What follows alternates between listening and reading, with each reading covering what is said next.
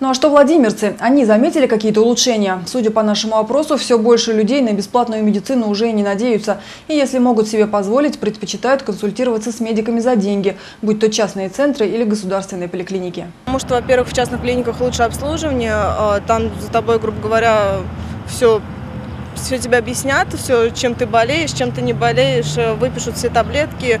То есть э, нет проблемы в том, чтобы отстаивать э, громадные очереди, как ну, в обычных больницах. Ну и вообще сервис лучше. Ну, болею я редко, больницы бывают тоже не часто. Но по делам бывает захожу в больницу. Заметил такой факт, что платные услуги, которые есть в больнице, они достаточно беспроблемные стали. То есть, ну, все быстрее стало. Ну, в частной клинике, конечно, всегда тебе рады. Они все-таки деньги имеют. А в обычной ну, поликлинике там как было, так и осталось.